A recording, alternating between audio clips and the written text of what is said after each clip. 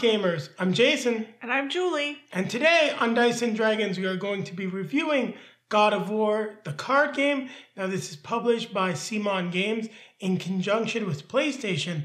That's right, it's an officially licensed PlayStation product based on God of War 4 for the PS4. Now, the game is designed by Alex Olteanu and Fel Barros. Really hope I pronounced them right.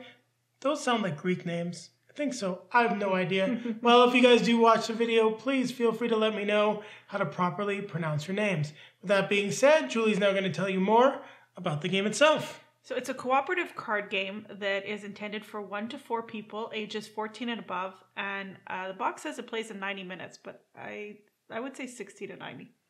Yeah, I think that's because we played at like uh, two players. But even when we played at four players.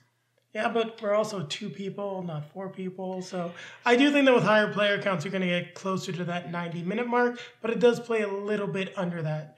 But it could also depend on the scenarios that you play. Could be.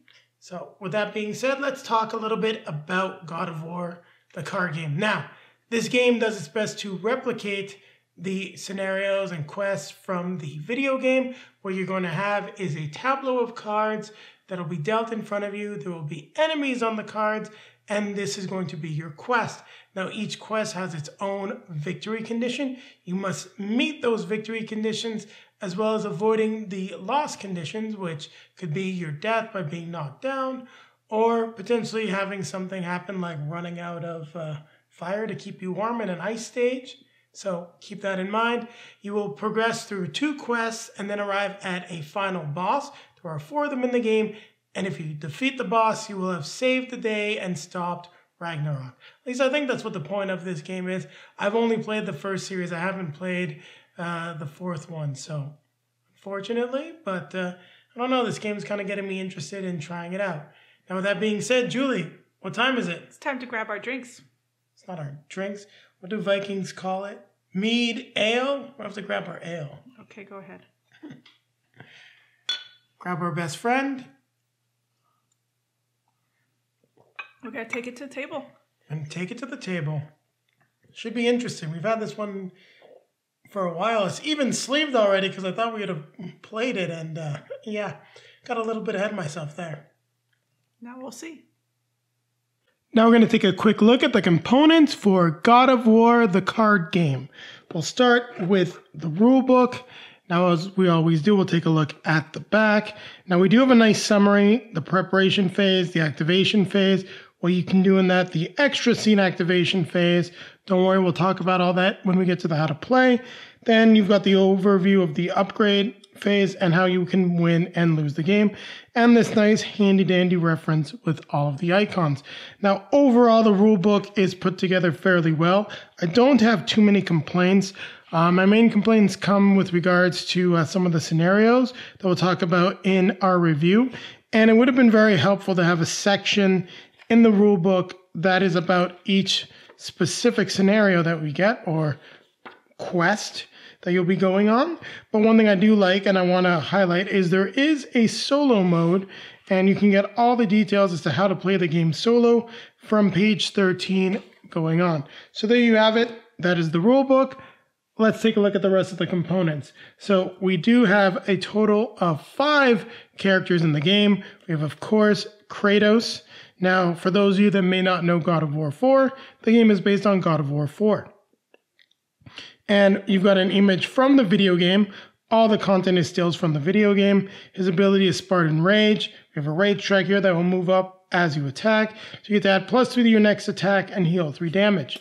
Freya, whose ability is Old Magic, you may place a Freya token, this token here, to defend from all incoming damage. Atreus, who can deal two damage up to two enemies and can't be blocked. We have Mimir, who we've yet to play as. Uh, you can you can choose a hero to attach yourself to at the beginning of each round. Becomes your carrier. You can choose to block for that hero instead. Mimir does not have a turn, but you must draw an upgrade card for him. So I haven't looked too much into how he works, but definitely plays different than everyone else. And his special ability is during the scene activation, you get to draw an extra upgrade card and choose one of them and place the other in the bottom of the upgrade deck. So you get to activate it right away, which is pretty cool. We have Brok and Sindri. So we have two characters actually.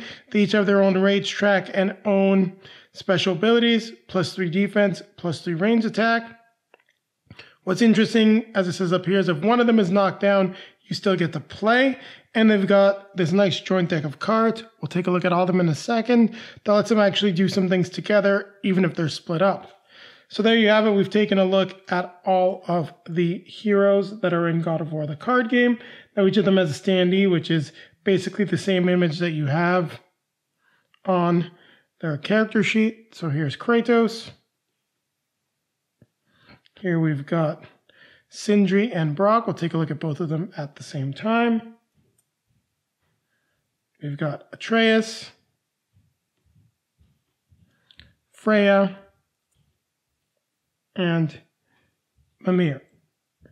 Now here we've got the first player token, house tokens in the denominations of 10, 5, and 1. We have the enemy defense die that has 0, 2, 1, and 5 on it. But you notice there's more zeros than anything else, which is good for you and good for all of us players because when enemies fail to block, it's awesome. We have these hand limit denomination uh, tokens. So these per- this purple side is for when you've got uh, extra cards. So you can take as many tokens as extra cards as you have. And this slash card, and you'll notice that it's got the symbol for God of War on the back, means that you've got one less card in your hand. We have stun tokens for enemies, death tokens for enemies that have been defeated, as well as these generic tokens that can be then be used as many different things. In one mission, they're mistletoes. In other missions, they're quest markers for a fire pyre. Now let's take a look at each player's deck of cards. So you can tell whose is who because they've got their image on it. Now you'll notice you've got the blue defense cards, which can be played defensively. We've got melee attack cards that can only attack certain areas in the scene. Don't worry, we'll go over that. And you'll notice we've got range attack cards. Now with Kratos, some of his can be range attack or we've got that rage track symbol as well to show you that the rage can go up. And sorry, just to clarify what I meant by or, you can either play it as a range attack or a plus one on top of another attack like this melee attack. We also have generic cards that will give you a plus to your attack. So for example, these two cards together, the melee and a plus two would be a range attack of four. If you throw that plus three in there, it's a range attack, sorry, melee attack of four or melee attack of seven. Now this card's interesting because it can be melee or ranged. Kratos' other special card is a block that deals damage back to the enemy up to the amount that you blocked. So we'll take a look at Freya next. So she's got, like you saw with Kratos, plus two. She does have a purple card, and we'll separate those out to talk about them as they play differently. Other than that, you're seeing everything very similar to Kratos' deck. Now she is the healer, so you may discard any plus card to deal to heal that much damage to one hero. You can add plus one to an ally's attack or plus two to an ally that's in the same column as you. You can also cancel all damage that any one hero would take, which is pretty cool. Now, Atreus can stun the target, but other than that, you'll notice his cards play very similar to everyone else. He's got this nice range attack where you can subtract two from the enemy die result, but overall, nothing special. Here we've got Brok and Sindri's card. They're special and they can advance one. This one is a plus, but if Brok and Sindri are the same column, it's actually a plus four. Now here's some interesting stuff for them. If they are in different columns, after one attack, you can repeat the same attack, which is pretty cool. Advantage of spreading them out. And you can also do the other thing. They have two of these cards in their deck. They can each heal one damage. Now here we've got Mimir, who I said I haven't played too much with. You notice most of his cards are defensive or special. So you can move him to different carriers. You can add plus one to an ally's attack based on the plus you discard. Now you can move his rage up with this. In the next attack of an ally this round, the end result of the enemy die is added to the ally's attack instead. You can discard a plus to heal Mimir and his carrier. Plus one an ally's attack and may discard a plus to further increase the attack of that that same amount. So he's got a lot of interesting boosting uh, abilities and healing abilities. So an interesting character, but one we just haven't had a chance to play with. Now we've got the quest cards, which will detail just some flavor text and your winning conditions, any special rules for the quests. Then we have the final bosses, which are presented the same way. Now you notice that each of these cards on the back has a hindrance. Don't worry, when we get into the setup, we will talk about hindrances. Well, maybe more in the how to play section. Now, this is the upgrade deck, and as you can see, we've got a whole slew of different upgrade cards. Purple cards for special abilities, some can be healed. We get some pluses that might have some limitations on them. We get new attacks that can be melee or something else. So draw two cards. There's just a whole slew of different things that are available in here, like another draw two cards, advance your rage by two. So as you play the game, you're going to be gaining these upgrade cards and upgrading your decks. Next, we've got these different resources that may be used in certain quests. We've got the Shatter Crystal, which can maybe let you do extra damage or is something you need to obtain. We have the Poison Marker, which when you gain it goes to the top of your deck. And then the moment you draw it, you take a damage and draw a new card. We then also have the stun cards, which when immediately you draw it, you have to discard it. So the more stun cards that are in your deck, the less effective you are because you're losing a card from your hand. Now, I'm not going to take these out to show you what's in them. You'll see one fully laid out when we go into the how to play. But we do get these different quest packs. So in here are a certain number of cards to lay out the scenario. So you notice they're, they're numbered at the top. You got these little symbols as to how you lay them out. Don't worry, we'll take a look at that in more detail. So we get a total of six of them for the different quests. And then we get a total of another, oh, I just knocked that over. We get another four for the different final boss options that we have. And there you have it. We've gone over all the components that are available in God of War, the card game. So keep it right here as we're going to teach you how to set up and then how to play the game. Now we're going to teach you how to set up God of War, the card game. Now I do have a few things that are off camera. You saw the corner just peeking out here. We've got the sh shatter crystals, the poison, and the stun cards that are within easy reach. We also need to have our health tokens nearby. I just don't want them cluttering up our space. We've got the first player token, which will come into play, a few quest tokens, some death tokens. You get the picture. We'll also need Freya's tokens. Now she's got two of them, but just because I'm trying to keep the clutter down, I'm only going to have one out. Uh, we're only going to be playing two rounds of the game, so I don't know if this is going to come into play, but I will show you how to use it anyway. Now, the next thing we need to do, and I'm going to set a card aside actually, because we're going to teach you how to play on the Travelers. So this is the one, but you, what you're going to want to do is really shuffle up all the quest cards. Actually, I'll mix it in. I'll just take it out afterwards.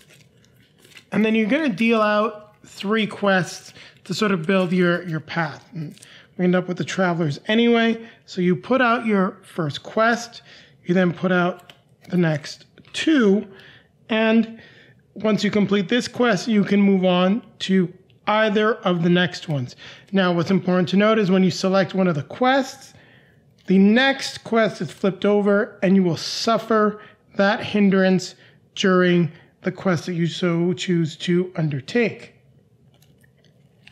Now, the next thing you would do is the same thing with the final bosses. Then you would deal out the three cards, ideally making a nice pyramid and let's say you decided you want to fight Sigrun, you'd flip over the other two, and you would suffer these hindrances during your fight with the final boss. The one from earlier would not necessarily carry over. You only suffer these ones here, this one here. Now, for the sake of keeping things clean, we're going to get rid of this path as it's not going to be important for the how to play, but it is important for your setup of the game. Next, what we're going to do is set up the scene. Now to do that, you would unpackage one of these. So we did the one that is number one for the travelers, and we set out the scene as so. You've got these little symbols that will tell you where everything fits within the scene. Now, all the scenes are four cards wide at least. Some of them have a bottom, some of them don't.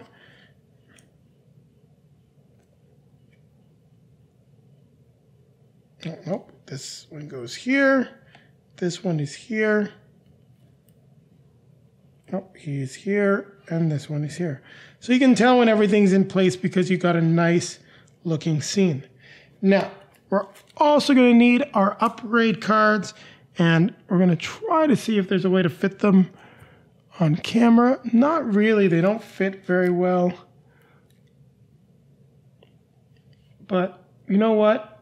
I'll see what I can do as we've basically completed the setup here. Just going to move everything over and see if we can get that stacked. So as you can see, one of the reasons why I'm taking the time to do this is uh, showcasing that the game, well, a compact card game still is a little bit of a table hog.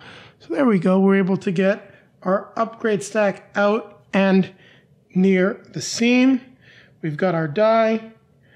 Kratos, since it's his game, we'll put the axe on the top of his head here. Actually, if I slide him down just a little bit, we can make some room for that token. So we can see that Kratos will be going first. Now, we're going to get into the how to play. So before we do that, we're going to make a quick cut, and then we'll be back with our how to play for God of War, the card game. So, how do you play God of War, the card game? Well, we are taking on scenario one, the Travelers, whose winning condition is that we have to defeat both of these Travelers in order to win. Now, you'll notice he's got infinite health. We've got this guy that's fighting us, these two fire demons in the back, and this other big traveler who's got a total of 25 armor. Now, there are some instructions on the cards. So you notice that when runestones are revealed, we will flip this scene. Once we destroy his armor, we will flip this scene. If we happen to kill this enemy right here, we will flip this scene. He has infinite health, but when he, after he attacks, we will flip this scene. Now we've got enemies up here who will also be flipped once they've been defeated. We can also spend two range icons to flip this scene right here.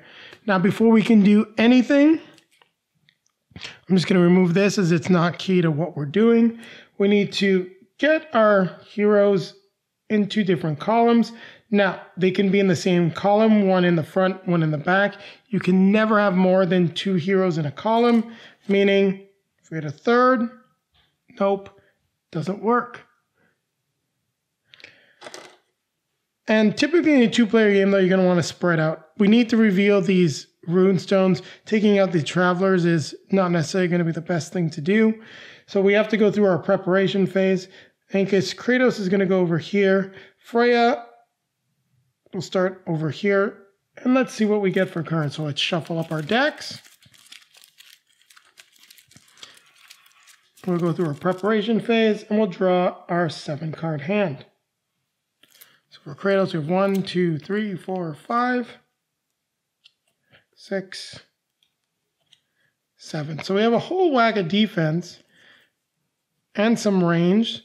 Not a bad start, actually. So I'm going to put this down off camera. We'll draw Freya's seven cards. One, two, three, four, five, six, seven. And you know what? I did not shuffle our cards. We got everything I was showing you during the not unboxing the components. I'll draw the seven cards. All right, so we've got her card. She's got primarily melee attacks, some defense. So let's see what we're going to do. Now we'll reference just the rule book quickly here. So we did the preparation phase. We dropped to our hand limit.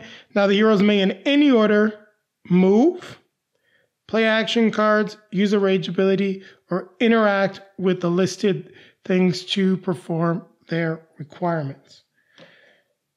So we will start with player one, Kratos. Now we can't, we do not have two range things to do. So we'll start by playing and just to keep it visible, I'll play them out right here. We're gonna do a melee attack plus 4. Melee attack plus 5 against this enemy that's in front of us. We will then roll our die. He defends for 2, unfortunately, meaning we've only done 3 damage to this enemy. Now these will go into our discard pile. And I put Kratos' card on top of Freya for the moment. Well, now we're actually going to make a range attack, but our range attack is going to be targeting this melee character. Range attacks can target either up front or in the back. And as we haven't defeated an enemy, we want to defeat an enemy. So he only blocks one, which is good. Meaning the enemy is defeated. He's taken the four damage. Now, in some scenarios, you may place a death marker to symbolize that they will no longer activate. In this case, we are instructed to flip his card. What this does is we advance our rage by one. Now, Kratos made two attacks, one ranged, one melee. We also advance our range, not range, our rage by two. Now this will reflip at a certain point, but it's not happening right now. Now Kratos also has the option of moving, and staying here is not necessarily a good idea because we've got one, two, three symbols that'll essentially hit us. So we want to at least get away from one of them. So we're going to move to this location. Now the next thing we do is we flip over the top card from the upgrade deck. We take a look and see what symbol is on it at the corner. We then activate the cards that match that symbol. I just slid that down because we got a little bit of glare here, meaning this flips over. So he will be back in play. And we've got this character that attacks and will then be flip over the card. So he's going to deal three damage We'll flip over his scene first. We're now able to damage him. So he attacks, and you can see by the symbol here. So he would attack these three spaces. Now, only the characters up front would take damage. So Freya's being defended, just for an example. He had an attack, and I'll just take a quick peek again. He's attacking these two spaces for three damage. Now, Kratos can play a defensive card, so we'll play our plus two defense to limit that damage to just one. Next, it is Freya's turn. So taking a look at what we have, and unfortunately, she does not have a lot of great cards and abilities right now. For example, the plus one to an ally's attack, or plus two to the same ally, sorry, to an ally on the same column as you, doesn't really work because Kratos is already activated. And we've just got these melee attacks. So at this point, she's going to move and she will attack the Traveler. So she's got a plus one. We're going to spend this as a plus one. We'll drop everything else into the attack as well. Her two plus threes for a total of an attack of eight. Roll the dice. He gets a zero. So we deal eight damage to his first ranking of armor.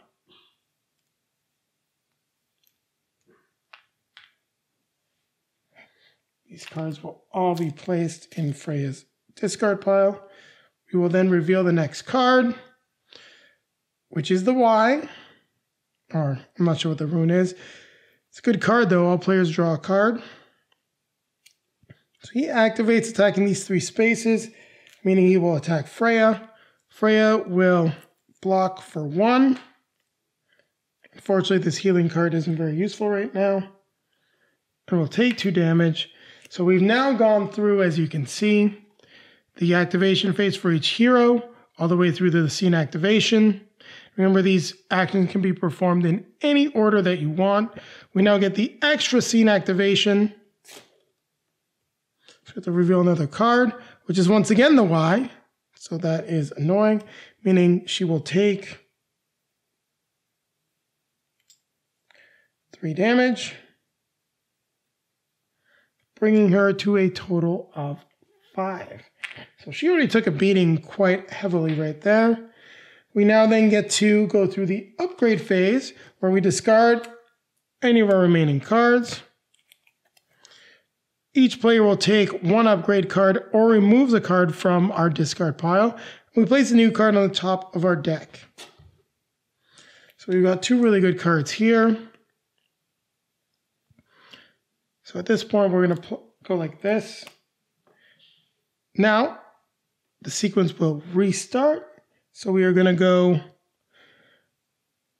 to Freya, as she is now. And just realizing here, and I apologize, the, uh, the axe, which was, got a little cut off. I thought I had a little more room, so apologize. We'll just put it over there for Freya.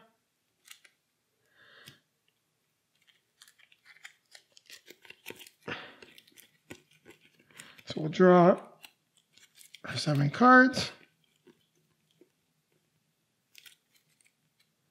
So we've got her hand, draw Kratos's. So as you'll notice, we always draw that upgrade card that we selected. And at the end of the upgrade phase, we neglected to do it.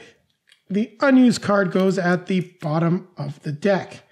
Now, the reason why that's important is it's usually not going to necessarily come up again as you're going to go through three quests, two regular ones, one final boss in order to beat the game. So it is now Freya's turn. And this time we've got all of our ranged icons. So we'll start with the first thing. All players draw a card. We got Kratos as well. Well, she can make some big attacks. And probably what I would actually do would be make some big attacks. I'm moving here just because I want to show you some different things. We're going to spend both of these tokens, well, symbols, to interact. Hit the water wheel we flip the two cards. And oh, we have revealed our first runestone. So that's how we're going to progress because we need to flip this by revealing three runestones. And unfortunately, that's really all she can do this turn. So we will reveal the next card, which means both of these characters trigger I might have missed him at the start. Yeah, I didn't trigger him properly at the start that earlier game. I think I only had one guy attack. In any case, it'll let me teach you range attack. So I will make a notation of that when we get to the how to play. Now, this is going to be a tough situation for Freya because she's getting attacked by the melee character, as is Kratos, and the Range symbol means you attack the character the farthest away. So right now it's Freya. If she was over here, it'd be Freya. So if you take a look at these characters at the top here, this fire guy would target Kratos. This one would target Freya. And even in this case, it would now be still Freya and Kratos. If this is the case, while the guy up front is technically blocking, she would not take any damage. So first thing we're going to do is we're going to cancel all damage from one of the attacks, and then we're going to play her plus two shield to block the other attack. Now, unfortunately, all these plus cards are going to be wasted this turn. We now go to Kratos' turn, and we need to progress with doing some more stuff. And we got to play his defense first, so we're getting attacked by this guy right here from the symbol. So we're actually going to block. He's doing two damage.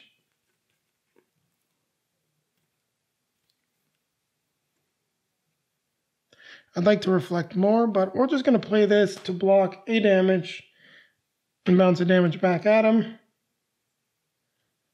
taking one damage ourselves. So we want to take out that guy that's up there. So we've got a range attack plus 1 plus 3 And we'll spend this as a plus two. Now I'm keeping these other cards for a specific reason. We're also going to play this to return one discarded card to our hand. I want that plus three back. So we've got our range plus one, plus three. So that's a total of four. A six range attack that we're making against this fire guy up here. Roll the die. Completely creamed him. So you've now defeated him and I automatically get the heal three damage. So that's pretty cool. I have yet to move and I can do some other attacks. Gotta move up my range. So we're actually gonna try to smash through this guy's first layer of armor. We shall move here. Oh, and I did neglect to do this. We got the two symbols here. So in actuality, this guy was in that position. So this is one of the things we're going to talk about in the uh, review. It's a lot of little icon glow uh, bloat I find and don't necessarily enjoy it, but you can see what you can do. But it's very easy to miss certain things. So we're going to make an attack plus two, plus three. So a five attack against his armor. He roll a five, blocks everything. But our rage is now up. So we can spend the rage ability. An extra plus three to this melee attack. So this becomes regular attack, plus three, plus one for four. And we do another three damage. So let's just take out the five. Take back one, put out the 10. So we've almost smashed through that first layer of damage. We've got two of the rune stones revealed. We'll finish up this full turn fully. We trigger his attack. So he's going to hit Kratos and Freya. Unfortunately, Freya has no defense left. She takes three damage and is knocked down. She's now removed from the fight. We do get an extra scene activation. And as this guy activated twice, Kratos happened to take six damage. So the heroes are not in a good shape right now. I don't, the strategy of staying right here really wasn't the best. We're getting hit from all sides, but it did let me show you the different things that we are able to do. Now, one thing that's important to note is that if, and this is a good example, we still get to go through the upgrade phase. She's just out of the game. It's not clear in the rules does not say if you have to be standing. It says each player. So in this case, we're just going to pick some specific cards. Let's go back to the bottom of the deck.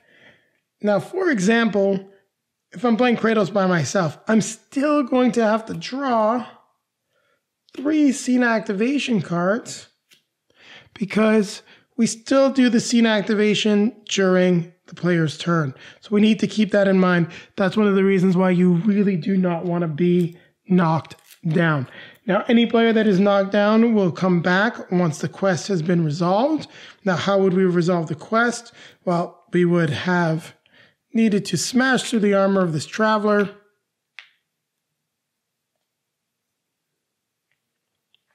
We're going to flip him over and then do another 15 damage. Now, once we'd revealed all the rune stones, this player would not be able to flip back over. And you notice we'd get a, a bonus. So we need these two bonus tokens to symbolize that we can now drop to nine cards, which makes a giant difference. So getting a little bit of spoilers, this is a how to play. But basically, find the rune stones, get the extra cards, beat up the travelers, and you'll be on your way to a good win. Now you'll notice in this first mission, we did not use the shatter crystals, the poison, or the stuns. They do not come up in every game. Same thing for the quest crystals, well, quest tokens, or whatever they decide to be during uh, that game, or the death tokens. They would only come up when you do not have this symbol on the card. So there you have it. That is how you play God of War the card game. Now I did make one or two minor mistakes, and I'm actually sort of not sort of I'm happy I made them because it directly relates to what we're going to talk about in the review, but I did catch everything. So keep it right here as Julie and I will be coming back at you with our review for the game. So, God of War, the card game. What did you think of the game? Well, I was I was um, a little afraid based on the name of this of this game, but you said that it was cooperative. Well, you thought it was going to be war, and I was going to be like, War! Yeah, I thought you might be using this excuse to beat on me. I don't know. I don't beat on you. I know you don't. uh, anyway, so uh, yeah, it. Um, let me just go right out and say the the art is a little bloody, a little bit not as a happy place as I like to go. Well, straight off, the one thing I'll say, I give the art for this game a zero. It gets a flat out zero. Why? It is stills from the video game. So, is that cool? Kind of, sort of, not really. It's from actual gameplay of the game. Uh, I mean, I think the characters are just from some of the cutscenes. So, while they look good and it works well for the, I'd say, your player characters, the scenes are just kind of meh and a little bit polygonal because it's a video game. I would have much rather seen them do something with some actual art, but that would have raised the cost of the game, I guess. Yeah. The other thing that, um, well, the, so the thing that interested me before I go into more negatives, I just was looking at the art on the box and remembering the fact that I didn't love it. Uh, I did like the fact that it's cards and that it's kind of a deck builder because you kind of get to upgrade mm-hmm. uh, your deck, which I thought was was pretty cool. Um, so so that was fun, and there is a, a female character that I got to play, a single female character. So that was that was fun. Well, it's it's a father and son story, and I'm not so sure what Brok and Sindri are because they're quite clearly not human. So are they male? Are they female? They kind of look male, but not quite sure. Yeah. So uh, you know, the, she had some some cool things, and uh, you know, this the son has other you know cool attributes as well. I let you play. Uh, the God of War, since you know that's just yeah. your thing. Well, I played the video games. I played as Kratos. I was playing Kratos. Like it's just just the way it was gonna be. But the one thing I will say is like I know I gave the art a zero, but uh, talk about. I think we're gonna go back and forth with what we like and what we dislike. It's not gonna really be concise because if you did happen to watch our full how to play, you may notice I did make some one or two mistakes in the game and showing how to play. It's just like a simple thing that I miss, and that really speaks to some of the issues we have with the game. Oh, and you're gonna talk about the rule book, aren't no, you? No, I'm not. I'm not gonna talk about the rule book. But what I was gonna say, what I do like a lot is the asymmetrical nature that all the characters play very differently. Mm-hmm. We didn't get to try uh, Mimir. We just didn't play. Uh, well, I wasn't really interested in the character, but looking at him, he's fairly interesting. But no one plays alike, and that I think is a real strength of the game. It was fun to play Brok and Sindri. They have their strengths and their weaknesses, and that's the same with every character. So I really got to give hats off to the designers in uh, that aspect. And it also means you're going to want to build your decks a little differently depending on who you're playing. And that slight deck building aspect I really like as well. Yeah, no, I thought that was I thought that was fun. Um, I mean, you you do get a little bit of luck of the draw, but at least you're not playing with a huge deck of cards like we've had issues with. You know, Harry Potter comes to mind. Yes, where we've got card stack when it's sleeved that's like that high, and it's like we need the those specific cards yeah, that are. I think you're exaggerating just a little bit, but in any case, okay, sorry, it's like that. High. This this was fun. Um, I did enjoy it. Uh, there was some confusion with the symbols. Um, you know, I think that wasn't very clear. No, but but that actually came across during the how to play, where I definitely in one of the turns missed one of the symbols. I did go back and I caught all of them, but there is too much iconography bloat. And I think we can both agree on that is that there's just little colored icons everywhere. And the problem is, it's like, the hearts are green. You've got a green symbol. You've got a blue symbol. You've got like, and well, it's cool. It's like video game esque. it's not it doesn't catch your eye it's not like you're playing a game where something might be flashing in your face something that will draw your attention to it that it's easy when you're maybe like flipping over a card you're like oh yeah that guy activates but out of the three symbols on this card you kind of missed one because you just looked and saw like one of the other ones so that's definitely a huge critique on the game and i really don't like it honestly uh, it didn't really affect the gameplay negatively. We often were able to catch the mistakes and just correct it, but it's a pain in the butt. I really wish they'd found sort of a better way to activate the enemy cards. I like the fact that it is randomized with the deck, but I, I almost think that you could replicate that effect with just an extra die.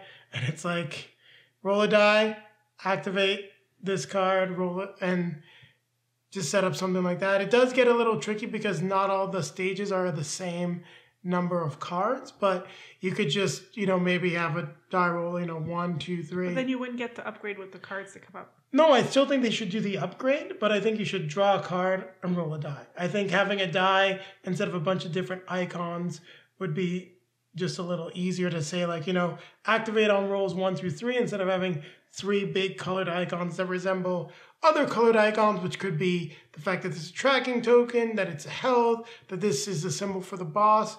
It's just all over the place and something I really didn't like. Yeah, so I mean the the other thing that I would say um, with this is that we played it two players and then we played it four players, and we played it four players because we thought this is pretty easy you know, we didn't really have much of a challenge, so we thought maybe it's harder at four players because that's happened before. Well, it, it definitely is luck of the draw because you did not, you weren't down here when I was filming the how to play. I did actually die during the how to play, but the way it worked out was just I was focusing on because he wasn't playing with me. Maybe, maybe, but I was focusing on teaching the game. Didn't take my positioning into account, and just got a lot of damage stacked and some bad draws, but you took for granted that we played it how many times two players and the only the only time we ever died was on the final boss when we were playing four no, and we weren't playing together. It was the also the luck of the draw and that happened because Freya's healing card came out in the first hand. If it came on the second hand, it wouldn't have been a problem. She would have been healed by like three or four and would have been able to go through to the next round. But I also didn't play the scenario where we're talking about how easy it is if you focus on the objectives, which I did not do in the how to play, and so if you skip ahead, the first scenario, you're trying to reveal runestones. Revealing those runestones makes the scenario basically a walk in the park. I did not do that, and that's why I died. Well, if you don't follow the objective of the game, that might happen. Yes, so that's what I was agreeing with you. So if you're playing the game strategically and you're trying to win the game and following the objective, it is fairly easy, I would say. Yeah, I don't think we've ever really found any challenge in this. Actually, the the one time that we did die together was because of the loss conditions. We just weren't paying enough attention to it. We focused on the boss, but we didn't realize that with the amount of people we had, the triggers were just happening so often that we fell behind and we just couldn't catch back up. Then when we replayed the scenario, we were supposed to restart the game, but that's actually another little complaint. You lose a quest, got to restart the whole game. It's not so bad if you're just going to stop, but we were playing it for review purposes, so a little short on time. Luckily, we lost after only like three rounds, so we just pulled out our upgrade cards and reset the game. Yeah. So it'd be cool to have just sort of reset rules, almost like a game save feature from a video game, but that's not in the game. You don't really need it because it's a 90 minute game, but losing in scenario two before you get to the final boss or, or quest two is just kind of annoying. I don't think I have anything else to add. I mean, it's a fairly simple game. Uh, actually, one of the things I I disliked, but you'll you pointed out to me that it also has an impact on the cost of the game. Is I I don't like when we play with standees. I'm used to minis now, and I'm spoiled by minis. I guess I would have liked to have minis instead of standees. Yeah, no, it'd be nice to have some miniatures, especially. It'd be nice upgrade, but I don't, especially because it's a CMON game, so they do fantastic miniatures. But this would definitely put the game into another price bracket, and they're really going for that sort of $25, $30 US bracket. And it's definitely worth the price of the game. Now, my last gripe with this game, it has to do with the rule book. Well, it's primarily laid out well. You get everything that you need in it to learn how to play the game. That being said, take the game out, set it up, lots of iconography, a lot easier to read the rules when you've got the game out in front of you. But when it comes to the scenarios, you're trying to figure out these win and loss conditions, what you're trying to do, and it's really just not necessarily clear. It's like at one point it's saying like trap Baldur for when you're trying to beat Baldur. We figured out what we needed to do. It wasn't that difficult, but still when we're looking at the cards, going through the setup, it's just wasn't as uh, intuitive as I would like it to be. And I think that having a section in the rulebook that just sort of explained the scenarios instead of having it on these teeny little cards with like one line would have gone a long way to making it a little bit more accessible. But it's funny because we've talked a lot about the negatives. The game was still very fun to play. It's a game that we, uh, that I say we both enjoy. It's a game that's probably not going to find its way out of the collection just because of how accessible it is. But I don't think this is a game that's going to hit the table on a regular basis. Probably not. No. So that being said, Julie, what is your score for God of War, the card game? Well, I hesitated back and forth, and I'm we. Uh, I honestly, I would say it's a six and a half. Um, uh, I have rated games that I really didn't like as much as this a six and a half, but it had a. It's I don't know. It's a six and a half. I just can't give it a seven. No, and I've I gotta agree with you. I debated between a six and a six and a half, and it's I've rated games that I've disliked in certain aspects higher than this game because even if it wasn't a game that I loved, I felt that it did everything that it set out to do well. I think the reason why this, even though we've had a lot of fun with it, it is a six and a six and a half, is that it doesn't do, besides the uh, upgrade mechanic, which I like, I don't think it's bringing anything new and different to the genre. And while it does a good job of simulating that video game experience, it's still not fluid, smooth, and it's a little clunky. And it's one of those things that I, I don't know, just without the amount of games we've played, I really appreciate fluid, clear design, and I really don't like iconography bloat, and this suffers from it, and that almost drops it down to a six. But that fun factor brings it to a 6.5. If you're a God of War fan and you're trying to introduce non video gamers to the franchise and they like playing board games and card games, well, this is probably the kind of game that would fit well in your collection. So on that note, it's time to like, comment, sub- hit subscribe, hit the bell to be notified when we have some new content for you. You okay there? Yeah, apparently Getting a little ahead of yourself? I say it too often; it just wanted to come out all at once. and take a look down below in the video description for links to all of our social media feeds Facebook, Twitter, Instagram. You can find pictures of us playing God of War the card game so you can see what the game looks like. You can also get some hints as to what's upcoming on the channel. And popping up in front of us are going to be links to some related content. So we'll probably have a link back to another licensed game, as well as a link to our most recently released video. With, with that being said, Julie, what time is it? It's time to grab our drinks. Grab our best friend. Okay, keep playing games. Gonna keep playing games. We'll definitely get this back to the table. We've played most of the quests. I'd like to at least beat everything. But like you said, it's strange. After a six and a half rating, it's one of those games that we still both agree will stay in the collection, even even if it is a six and a half. Well, the, we've had a few of them like that. There's been games that we rated higher that we really liked their ingenuity that are now no longer in the collection. For example, Fog of Love. Great design, gotta love roleplay. Started to fall a little flat after a few plays, but well designed game. Whereas this one, it's fun design, but could use some smoothing out. No, maybe if I polish it, I can round out these edges here. Oh, okay, there. Like like you want his head? Is that it? You want Kratos' head? Well, then maybe I'll get his beard too. How would you like that? no.